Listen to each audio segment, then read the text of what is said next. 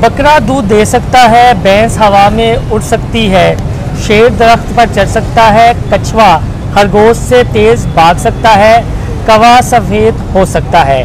जी हाँ इन side story के साथ मैं, मोहसिन बिलाल, और ये सब सच हो सकता है कैसे, अपनी इस वीडियो में मैं आपको बताऊँगा और मेरे साथ मौजूद है सीनियर सहाफ़ी वकास चौधरी। चौधरी साहब, ये जो मैंने कहा है ना, कवा सफ़ेद हो सकता है, कछुआ खरगोश से तेज़ भाग सकता है ये मुझे बात क्यों याद आई? आपको पूछना चाहिए ना मैंने ये तमहीद क्यों बांधी जी मियाँ साहब मैं यही पूछना चाहता हूँ कि कौवा सफ़ेद हो सकता है हाँ। कछुआ तेज भाग सकता हाँ। है। ये सब कैसे पॉसिबल है? किस ये कैसे भाई- आपको याद आया? ये सारी ये, चीज़ें। ये भाईजान सोशल मीडिया की दुनिया में सब मुमकिन है। वो कैसे? वो मैं आपको बताता हूँ कि एक मखसूस जमात के ट्रोलर्स हैं।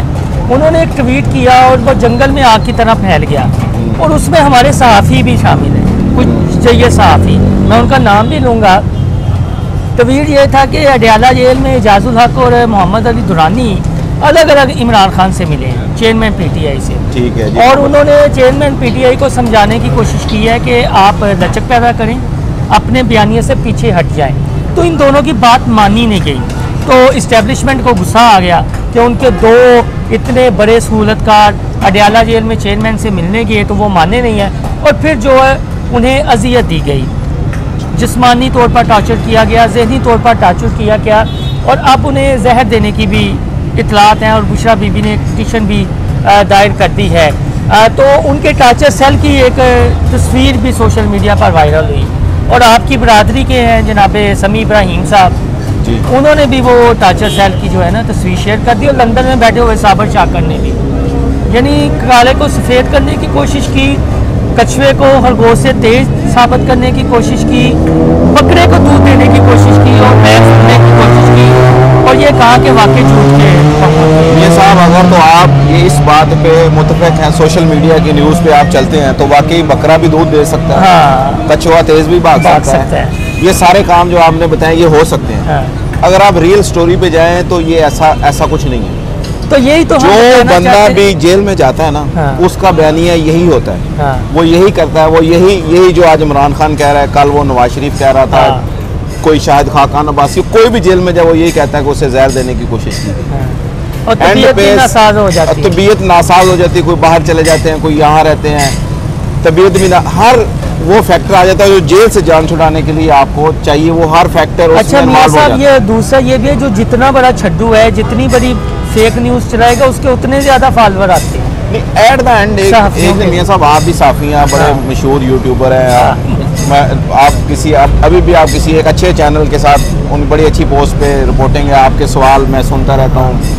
मरियम बीबी ने भी जवाब हाँ दिया। हमारा सवाल वो 2021 का है। हाँ। तो वो इन दिनों में साहब शाकर ने भी ट्वीट कर दिया कि लंदन में एक जैया साफ़ी ने जबकि वो गुजरा वाला जबकि वो वो इधर पाकिस्तान में हुआ था हाँ। इस तरह के आप आपके सवाल हम सुनते रहते वो एक मरीम की बात नहीं वो कई सारे जो जब पीटीए का दौर था तब भी आप जो सवाल करते थे वो उनका जवाब भी नहीं मिलता था। हाँ बात ये कि आप माशाल्लाह साफ़ी हैं आप आप बताएँ कि अगर इमरान खान जेल से बाहर आ जाएँगे तो क्या इसमें चेंजिंग आ जाएगी? ये मैं चाय का कप जो पी रहा हूँ सत्तर रुपए का मिला है। क्या ये मुझे फिर चालीस रुपए का मिलेगा? अस्सी का हो सकता है। अस्सी का हो सकता है हो ना सकता है। तो क्या फ़र्क पड़ता है हमें ये सोशल मीडिया पे जो लीडर के आने खबरें चला रहे हैं नवाज़ शरीफ आएगा क्या मिलेगा हमें? वही इलेक्शन वही कुछ कुछ सिस्टम में कोई चेंजिंग आती नहीं है कोई ये बात नहीं करता ये सिस्टम में कैसे चेंजिंग आएगी? अच्छा ये तमीज़ी बात कोई नहीं हमारे सहाफ़ी भी नहीं करते सोशल मीडिया पर। बिल्कुल और जब से अब ट्विटर ने मोनेटाइजेशन की सिलसिला शुरू किया तो अब ट्विटर पर जो है अल्लाह की बना ऐसी ऐसी छोड़ी जा रही हैं ताकि हमारा जो है वो व्यूज़ आ जाए हमारा टारगेट अचीव हो जाए और हमारी मोनेटाइजेशन हो जाए और हमें यूट्यूब और फेसबुक की तरह डॉलरों में बारिश हो हमारी। मियाँ साहब वो उनको चलने दे जो शौर रखने वाले लोग हैं उनको आज भी पता है मियाँ साहब की कैपेसिटी क्या है जरदारी साहब की क्या है हाँ। इमरान खान की क्या है। हाँ। अब मुझे ये बताएँ मियाँ साहब जरदारी इमरान खान को जेल से छोड़ दें यहाँ पे इलेक्शन हो जाए क्या मुझे ये ये जो आज पच्चीस रुपए की रोटी मिल रही है जो आपने मुझे दावत दी और मैं आया और अब हम चाय पी रहे हैं? क्या ये फिर मुझे दो तीन रुपए की मिलना शुरू हो जाएगी? नहीं मिलना शुरू अच्छा आप ये बताएँ कि इस्टेब्लिशमेंट को मोहम्मद अली दुरानी मिलने थे या इजाजुल नहीं, वो देखें वो बा- वो आपकी बात है। वो डिनाई कर रहे हैं अब साहब। नहीं नहीं वो डिनाई करें अब अभी इमरान खान कहाँ है? अडयाला जेल में है। हाँ अगर स्टैब्लिशमेंट ने उनसे बात करनी हो तो वो खुद जाके नहीं कोई बंदा भाई भी उधर है शाह महमूद कुरैशी सारे उधर- सारे उधर ही है ना। जाके उनसे कोई और नहीं बात कर सकता। हाँ। कोई कोई उनका जो खास वो इनको ही बीच में क्यों लाते हैं हाँ कि बात हुई जो बाद में तरदीद कर हाँ दें वो जो जेल में है जो जेल जेल में होता है वो तो मानने के लिए पहले तैयार बैठा होता है। नहीं वो कहते हैं डटे हुए हैं, मानते नहीं हैं। कैसे डटे हुए हैं? मतलब कैसे डटे हुए बताया मुझे तो- कहाँ है उनकी पार्टी आज? वो अटक में एडजस्ट हो गए थे अटक जेल में फिर अटियाला में आए हैं। ये डटे हुए हैं तो उनके सर वो जेल जेल में एडजस्ट हुए थे या जे- जो कैद उनको वो काट रहे हैं उसमें एडजस्ट अच्छा हुए अब तो कैद वैसी है वो आपको भी ये लगता है कि नवाज़ शरीफ की जो प्लेटलेट्स की कहानी थी उतार चढ़ाव ऊपर नीचे और अब ये इमरान खान की जहनी अजियत ये आपको भी कोई इंसिडेंट लगता है चीज़ें लगती हैं एज अ साफ़ी? सर ये कोई इंसिडेंट ये वैसे ही होगा कोई भी किसी भी पार्टी का हाँ। बंदा जेल में जाएगा वो छोटा हो बड़ा हो वो एट द एंड जेल से निकलने की उनकी तबीयत ख़राब होगी कोई हाँ। लंदन चला जाएगा कोई जेल से निकल के कहाँ चला जाएगा ये जेल से निकलने के सब भी रहे हैं। हाँ। इनके पास किसी के पास कोई प्लान नहीं है। ये अभी आप नून लीग की बात करें अभी ये हुकूमत छोड़ के गए क्या करके गए? उससे पहले पीटीआई हुकूमत थी क्या किया उन्होंने? चले पिछले सत्तर सालों में बता दें सारी पार्टियों ने मिलकर क्या किया। कोई एक प्लान बताया जो चल पे मुल्क जिस पे चल के अगले दस सालों में ठीक हो ये हम ढाबे पे बैठे हुए हैं तो लोग आ जा रहे हैं सिस्टम चल रहा है खा पी रहे हैं। चाहे आपको तलब थी सत्तर का कप भी आप अफोर्ड कर रहे हैं। कहीं ये नहीं अफोर्ड कर सकते जो चीज़ें हैं। सर अभी अभी अभी हम यहाँ बैठे थे। आपके सामने वो एक बंदा जो यहाँ को चीज़ें बेच रहा था वो हाँ। आया। उसने आके आपके क्या आपसे आके क्या सवाल किया? कि रोटी खिला दो। कि आपको खाना खिला दें। हाँ लोग एक वक्त का खाना उसकी प्रोडक्ट ले ली। हमने हमने उसकी प्रोडक्ट ले ली जो हम उसके लिए कर सकते थे सकते जो इमदाद वो वो आपने कर दी। हाँ क्या वो एक बंदा वो कितना मजबूर होगा इस नौजवान महँगाई के हाथ। कितना मजबूर होगा कि वो रोटी मांग के खा रहा है वो मांगने वाला उसको शक्ल नहीं से देता। कुछ लगता है। उसको क्या फ़र्क पड़ता है बयानिया उससे पता भी ना और हो वो शायद सोशल मीडिया इस्तेमाल करता होगा।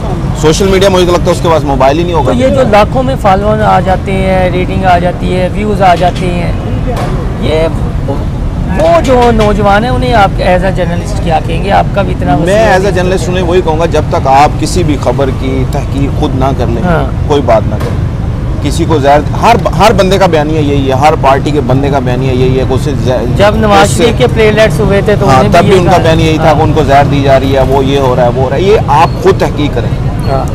आप उस सोर्स पे रिलाई करें जो आज जिस पे आपको यकीन हो कि ये खबर है। जो एक खबर पे जो मिलने गए वो तरदीद कर रहे हैं और आप उस खबर पे कैसे यकीन कर सकते हैं कि ये ऐसे ही हुआ होगा? ऐसे ही हो और लोग मान रहे हैं पीटीआई के चाहने वाले देखिए मैं पीटीआई के या किसी भी पार्टी के मेरा किसी पार्टी से कोई तलक नहीं है। मैं ना किसी पार्टी के खिलाफ हूँ ना किसी पार्टी के हक में हूँ। बस ये है कि हर पार्टी के फॉलोअर्स आप अंधा बिलीव ना करें अपने हाँ। लीडर पे किसी पे भी।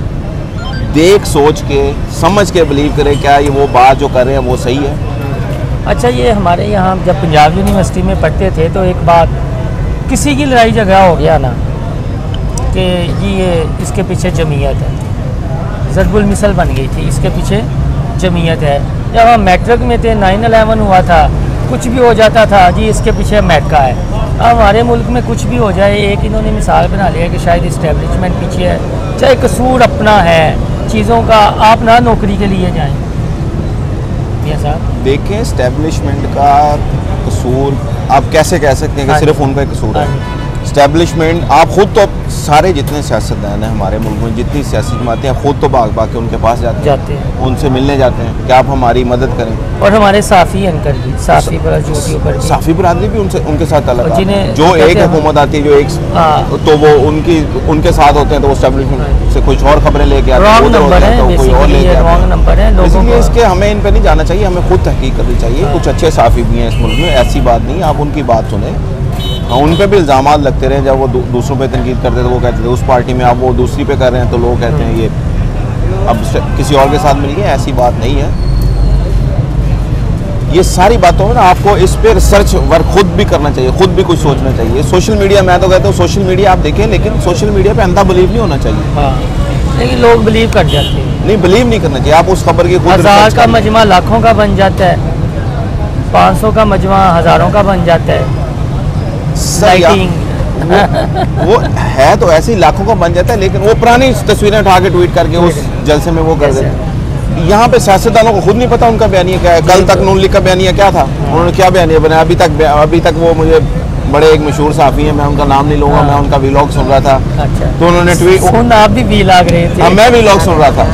तो वो जो है ना उन्होंने जो ट्वीट उन्होंने उनका जो बाद में ट्विटर था उसमें उन्होंने लिखा गया बयानिया जेर तमीर अब ये देखें मेरे कार में आकर ये बात करके गए अल्लाह तेरा ਵਿਆਹ ਕਰਾਏ ਜੇ ਦੂਸਰਾ ਆਂਦਾ ਤਾਂ ਠੀਕ ਸੀ ਬੰਦਾ ਮੰਨ ਜਾਂਦਾ ਹੁਣ ਸਾਡੇ ਵਿਆਹ ਨੂੰ 10 ਸਾਲ ਹੋ ਗਏ ਤਾਂ ਉਹਨਾਂ ਨੇ ਇਹ ਤਹਿਕੀਕ ਨਹੀਂ ਕੀਤੀ ਕਿ ਮੈਂ ਸ਼ਾਦੀशुदा ਹੈ ਜਾਂ ਨਹੀਂ ਨਹੀਂ ਮੌਸਮ ਸਾਹਿਬ ਉਹਨਾਂ ਨੂੰ ਮੈਨੂੰ ਲੱਗਦਾ ਤੁਹਾਡੀ ਸ਼ਕਲ ਦੇਖ ਕੇ ਲੱਗੇ ਕਿ ਇਹਨਾਂ ਜਿਹੜਾ ਖੁਸ਼ ਬੰਦਾ ਹੱਸ ਰਿਹਾ ਲੱਗ ਰਿਹਾ ਉਹਦੀ ਸ਼ਾਦੀ ਨਹੀਂ ਹੋਈ ਨਾ ਇਸ ਲਈ ਉਹਨਾਂ ਨੇ ਹਿਸਾਬ ਲਾਇਆ ਕਿ ਤੁਹਾਡਾ ਨਾ ਦੂਸਰਾ ਵਿਆਹ ਵੀ ਹੋਣਾ ਚਾਹੀਦਾ ਇਨਸ਼ਾਅੱਲਾ ਤੁਹਾਡੇ ਨਾਲ ਫੇਰ ਚੈਟ ਕਰਾਂਗੇ दोस्तों, वो जो मोहम्मद अली दुरानी और इजाजुल हक साहब की मुलाकात वाली बात है, वो फेक न्यूज़ है। और मैं हमेशा कहता हूँ कि पीटीआई के जो कारकुनान हैं, वो इंतहाई मासूम हैं। जो उन लोगों के पीछे लग जाते हैं, जो जितने बड़े छड्डू हैं, और उनकी बातों पर यकीन करना शुरू हो जाते हैं। ठीक है, आप किसी से भी बात करें तो ये बात है इमरान खान के स्टेमने के हवाले से मानने में आती है। एज अ जर्नलिस्ट सामने भी उन्हें कवर किया है।